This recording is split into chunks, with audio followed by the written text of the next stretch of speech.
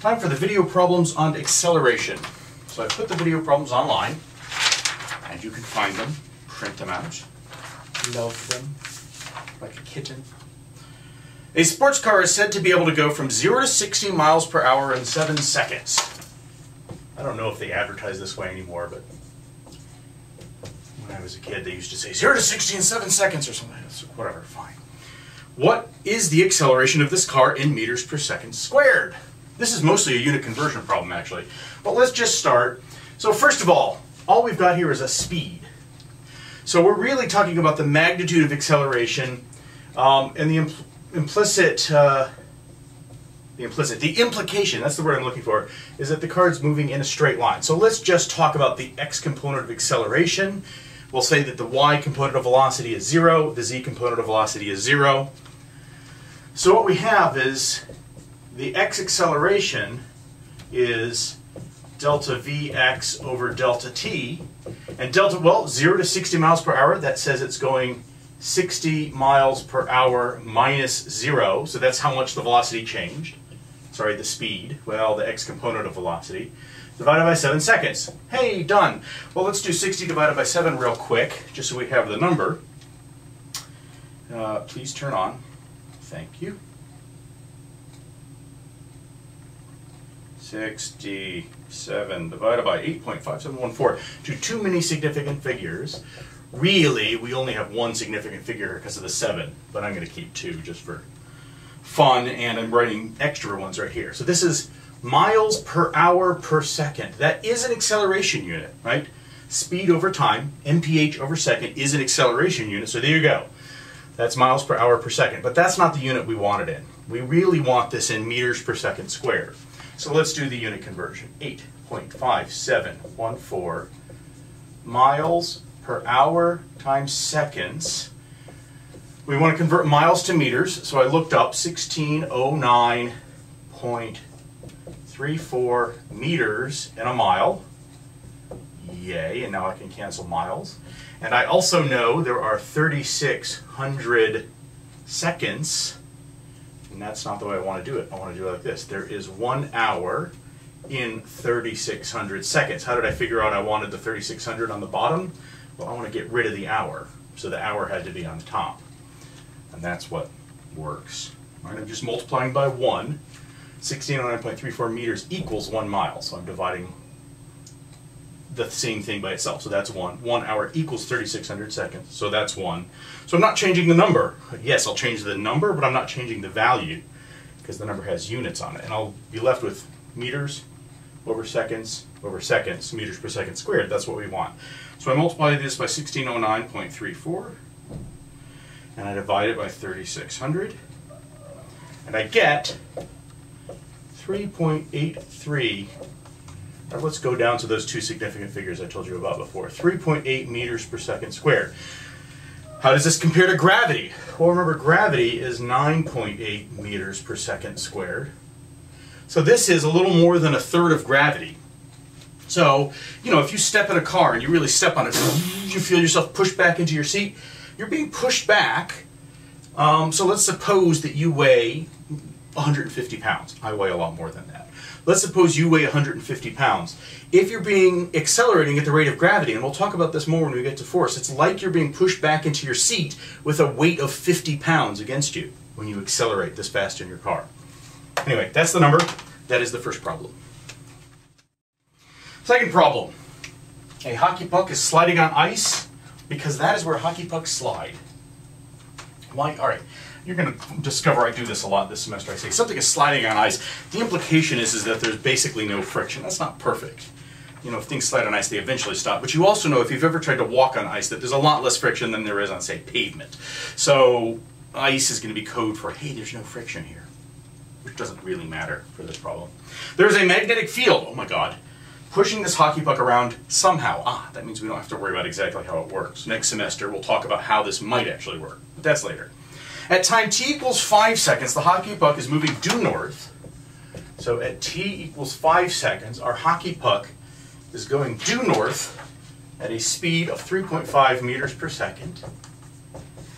And at time t equals 7.0 seconds, I'm going to go ahead and write in the digits we have here. at time t equals 7.0 seconds, the hockey puck is moving due west. So sometime later, the hockey puck is now moving that way at a speed of 3.5 meters per second. If I define east as the plus x direction and north is the plus y direction, and you notice this is something I actually recommend you do, is draw little pictures to help you make sure you understand what's going on here. If you define east as plus x and north as plus y, there's a lot of text here. Once I've drawn the pictures, you can kind of see what's going on, and it's a good way to unpack all the text. What is the average acceleration of the hockey puck between t equals 5 and t equals 7 seconds? I'll come back to that average in a moment, but let's start with the definition of acceleration is delta v vector over delta t. Now, I told you this equation only works for short intervals delta t. Is two seconds a short interval? I don't know. Short compared to what? Short compared to my age? Yes. Short compared to 10 seconds? No, it's a fifth of 10 seconds. That's a lot. So what do you mean by short? What it really means is short compared to how long it takes for the acceleration to change significantly.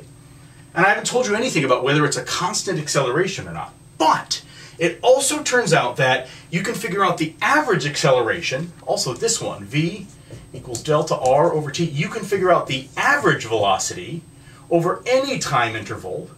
So it won't necessarily be the instantaneous velocity at any moment, but it is the average over that time interval by using this equation. So since all I'm asking for is the average acceleration, it's the same as what it would have been were it constant. If you take the average of the same thing for a long time, you get that thing. And that's what this will give us. So let's go ahead and do this. So the average acceleration is delta v, well, that's v final minus v initial, divided by delta t is t final minus t initial. So I've just defined vf and vi. Well, what is vf? Well, this is the final here. So I would say that vf, it's going in the negative x direction. So it's minus 3.5 comma 0 comma 0 meters per second is VF, and that is a full-on vector, and VI is here. That's VI is moving in the y direction, so it's 0, comma 3.5, comma 0 meters per second. Nothing is moving in z. Great, and then delta t, well tf, of course, this is tf, and that is ti. So now we can do this. So vf minus vi is minus 3.5 comma 0 comma 0 meters per second minus 0 comma 3.5 comma 0 meters per second divided by delta t or tf which is 7.0 seconds minus I bet you could do that in your head. 7 minus 5 I hope so.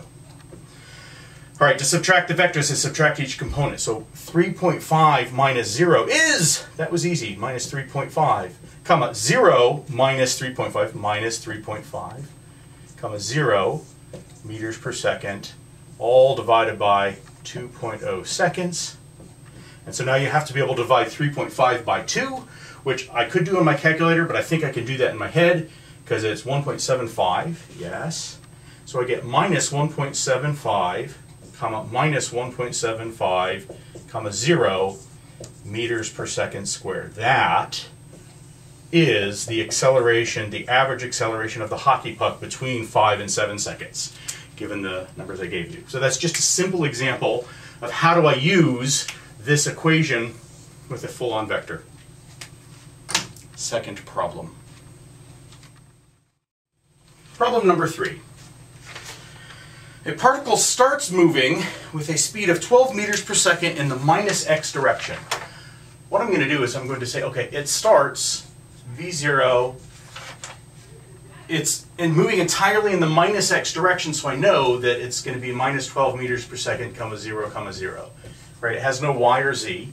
If I take the magnitude of this, I'm going to get 12 meters per second, which is the speed of the particle. So that's its initial velocity. It undergoes a constant acceleration a, which is equal to 5.0, comma, minus 2.5, comma, 3.7 meters per second squared. The particle starts at the origin. Where is the particle after 2.0 seconds? Well, if it starts at the origin, another way of saying that is that R0 is equal to 0, comma 0, comma 0. In whatever units you want, I'll go ahead and put meters on this. Where is the particle after two seconds? Okay, it has a constant acceleration. Because the acceleration is constant, we know we can use this one. r vector is equal to r0 vector plus v0 vector t plus 1 half a vector squared. And so now I can just calculate this out. Now there's two ways I could do this. I could write all these things as vectors and keep doing it, or I could do one component at a time. Let's do the one component at a time version because that's just a little bit less overwhelming all at once. So let's start and figure out the x. So x is equal to, and actually in this case, since I'm, it's, I don't even have to do any algebra because it's already solved, right? x is equal to, I'll write it out, x0, which is 0, plus v0 xt plus 1 half a xt squared. And it's also important to realize this is the initial speed. Because the particle is accelerating, or not initial speed, the initial x component of velocity, because the particle is accelerating, the velocity is changing with time, but that's not what you put here. You put here the initial one. So this is pretty straightforward to do. V0x is minus 12 meters per second. And I multiply that by time. What do I say? After two seconds, so 2.0 seconds, plus 1 half AX is 5.0 meters per second squared times 2.0 seconds squared. It's important to square this. Let's make sure the units work. Seconds will cancel seconds. I have seconds squared and seconds, and they're squared, so yay. So I'll end up with meters. That's what I want. So let's go ahead. Can I do this in my head? I probably can do this in my head, actually, right? Because 12 times 2 is minus 24 meters.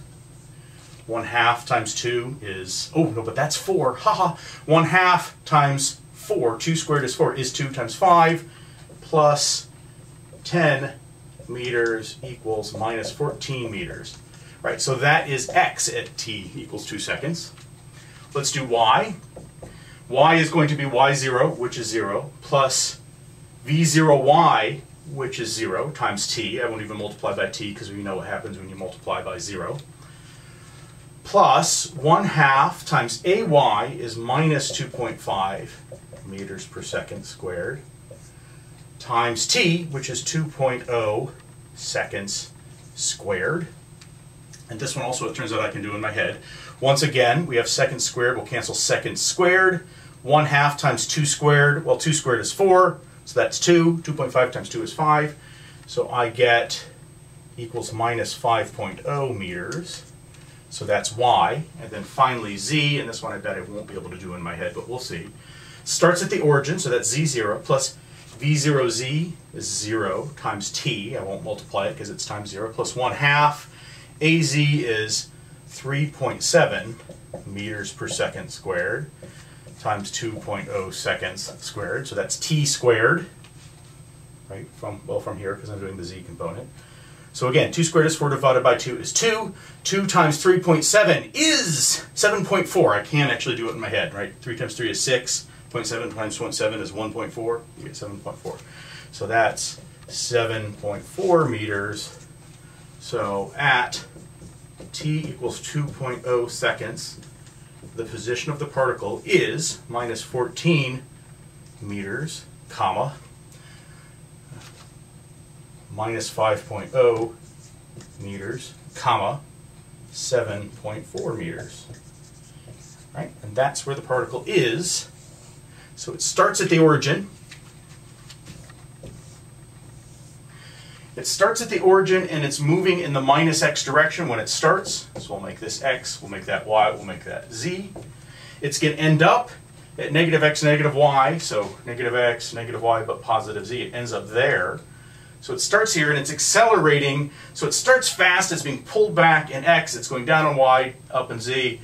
And so it'll do some sort of three-dimensional path curving like that. If you kept going for a while, it would eventually turn around and come back in x, because it has this positive x acceleration. You notice it slowed down. If it kept going, eventually it would have a positive x velocity, and eventually, it, again, a positive x. May it already have a positive x velocity. Let's think about that for a moment. It does. No, it doesn't. 5. So its x velocity is 5 meters per second times 2 seconds because, um, so it starts with minus 12, a times t is 5 times 2, that's 10 meters per second is how much delta v is, because a times delta t, 5 times delta t is delta v. So it's still going in the negative direction because it has a negative 2 meters per second velocity. What I just said was, this isn't part of the question, but I'll go ahead and write it out, is um, at t equals 2 seconds, I have vx is equal to vx0 plus axt right? And so Vx0 is minus 12 meters per second. And then Ax is 5.0 meters per second. And T is 2.0 seconds, right? So that's minus 12 plus 10. That comes out to minus 2 meters per second. So it's still going to the left when it gets there, but it'll turn around pretty soon. That's the third problem. We should do more. Problem number four.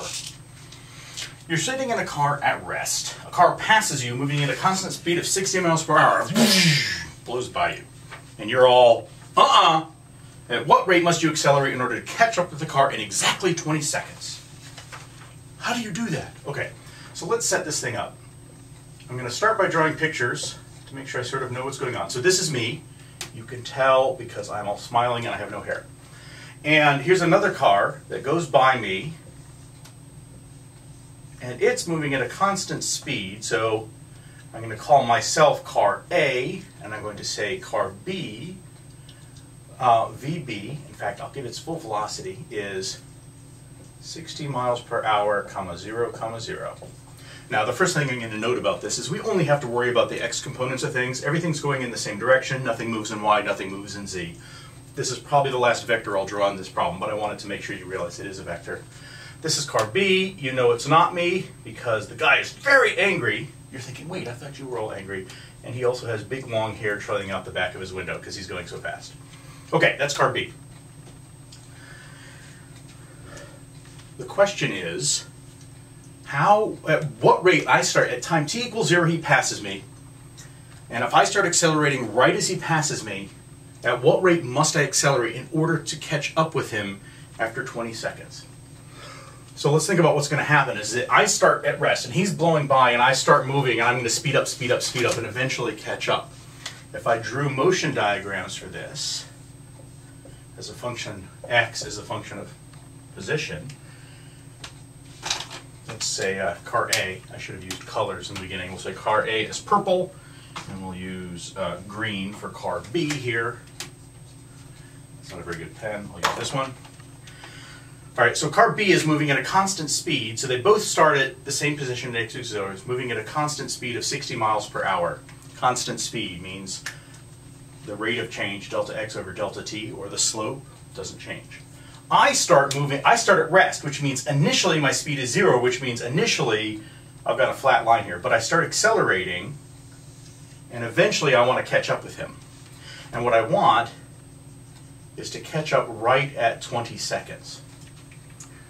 Well, okay, so what I want is for XA to equal XB at t equals 20 seconds. What is AXA? This is what the question is. So now what I can do is I can say, well, what is XA, what is XB? Well, XA, and both of these things, I'm going to use the equation x equals x0 plus v0xt plus 1 half axt squared. xa, that's me, well, so xa is equal to x0 is 0, v0x is also 0 times t, plus 1 half axt squared, and this is the thing I want to find. And here's what I should do. I shouldn't just say AX, I should a, say A sub AX, because there's two different cars here. I have to keep track of it. And I want this to be equal to XB at t equals 20 seconds. XB, well, also at time t equals 0, we're defining where we're starting as 0, is 0, plus VBX, which is the same as V0BX, but it's not changing, so I'm just going to call it VBX times c t plus 0 because the other car is moving at constant speed, so it has no acceleration. So what I need is 1 half AAX t squared is equal to VBX times t. I know what t is. I know what VBX is, AAX is what I'm after. So let's just solve the algebra. AAX is equal to, I multiply both sides by 2 VBX. I need to divide both sides by t squared, and so I had a t, I'll just go ahead and write it out, I had a t over t squared, so I divided both sides by t squared. And this squared will cancel this t, so then I'm just left with 2vbx over t. So that's going to be equal to 2 times 60 miles per hour divided by 20 seconds, or 6 miles per hour per second. That's the acceleration I'm after. Um, I think I skipped. No, I'm good. 6 miles per hour per second. Note that after 20 seconds, I will be going at a speed of 120 miles per hour, which um, is not recommended on everyday roads. On the other hand, we're doing this on a, on a speed track with uh, professional drivers in a closed setting. Do not try at home. It's all good. Great. So it's 6 miles per hour second, and now I just have to do that conversion, because this is part of what I want, miles per hour per second. That's great. But I also want it in meters per second squared. So let's figure out. Now I have two sig figs here. So 2.0, 6.0, um, yes, it was 60 divided by 10.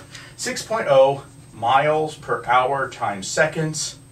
I do the same conversion, 1609.34 meters per mile. I did that in the first problem, times one hour. Let's put a spastic M. Divided by 3600 seconds.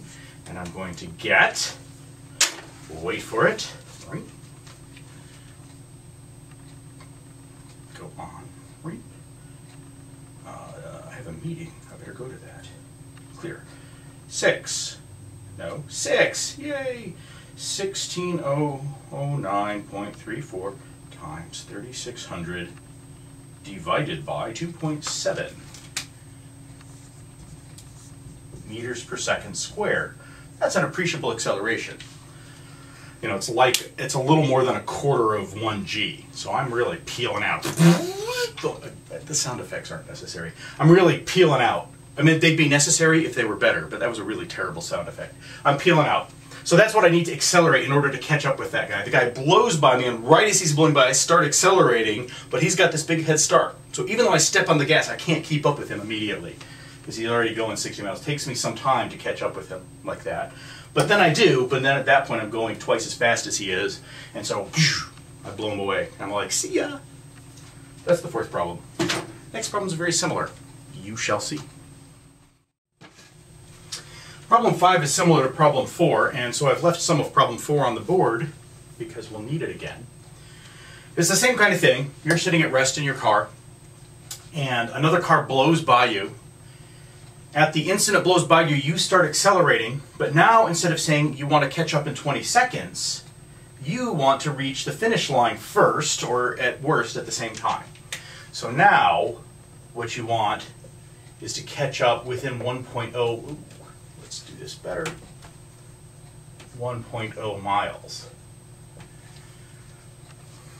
So what this says is that I want now notice that this still happens at the same time as each other.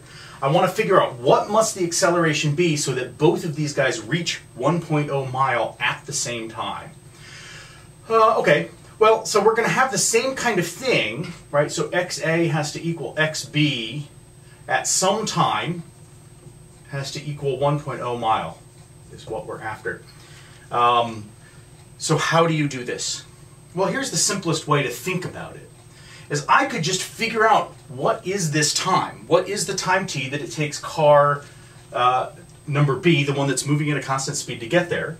So I know that xb is equal to, it starts at 0 plus vbx times t. Right, so vbx times t. Um, I want xb to be 1 mile, so xb over vbx is equal to t is 60 miles per hour. Um, I'm doing this wrong. It's 1.0 miles is the XB I want. Divided by 60 miles per hour, I get 1 60th of an hour, which is the same as one minute. Okay? That's the time now I want to say, okay, in that time, me, I want to cover the same distance.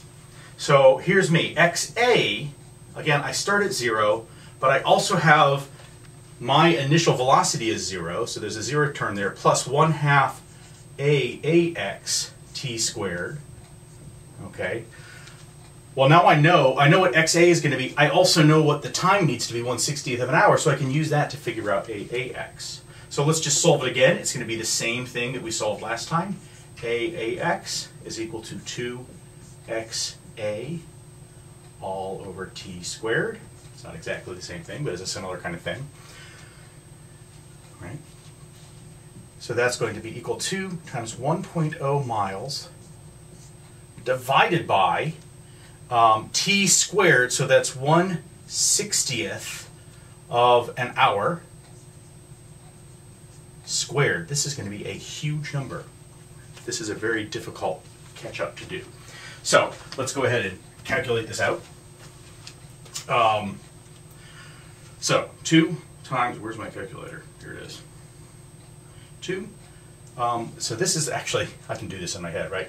Because it's 2 Ah, this is miles per hour squared. So you'll see what's going on here. It's actually not as big as it sounds. 2 times 1 divided by 60 squared is 2 times 3600. That's what 60 squared is. Miles per hour squared. That is an acceleration unit. It's just not one that we like very well, but that's fine. And 2 times 3600 is, of course, 7200 miles per hour squared. So let's go ahead and convert this acceleration into both of the other units that we like.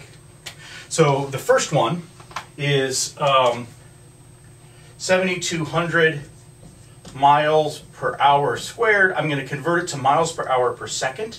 So I just need to multiply by one hour divided by 3,600 seconds. And I get 2.0 miles per hour per second. That's not a bad acceleration really at all. And now let's convert again. Let's actually write it instead of mph over second. Let's write it miles over hours seconds. Let's convert again.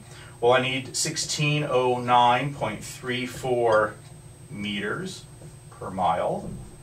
And now I need to get rid of the um, hours. So I have one hour over 3,600 seconds again. And so when all is said and done, two miles times 1609.34 times did I do that right? I believe that. 3,600 divided by, I get 0.89 meters per second squared, which is uh, still actually a fairly respectable acceleration as far as cars go, but that's not an extreme acceleration at all. I was very wrong when I said that earlier.